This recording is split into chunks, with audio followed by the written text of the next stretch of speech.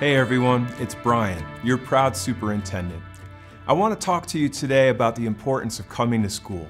Every day that you're in class is a day that you can learn something new, discover a new interest, or connect with your school community. We all know those opportunities are irreplaceable. When you miss a day, you miss a lot. Most students will miss a day here and there each year because they're not feeling well and don't want others to get sick. Well, that's the responsible thing to do and take care of yourself and others. However, students can quickly fall behind if they miss more than just a few days. And research shows that the impacts of attendance can last for years. For example, students who attend school regularly are almost four times more likely than students who don't to read and write at grade level by the end of third grade. Attendance counts from day one when it comes to building a strong foundation of literacy and academic skills. Establishing and keeping good attendance habits continues to impact students after elementary school as well.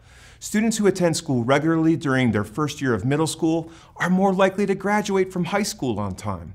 And on the flip side of that, even high achieving middle school students are less likely to graduate from high school on time if they have poor attendance in the ninth grade.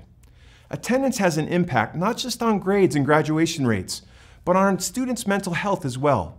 The more you come to school, the more you can build relationships with teachers and staff and join one of our clubs and sports and performing arts and other activities. If you haven't found your niche yet, I'm confident you will. We're here to help. Every student counts. Every day counts. Our schools are better with every one of you.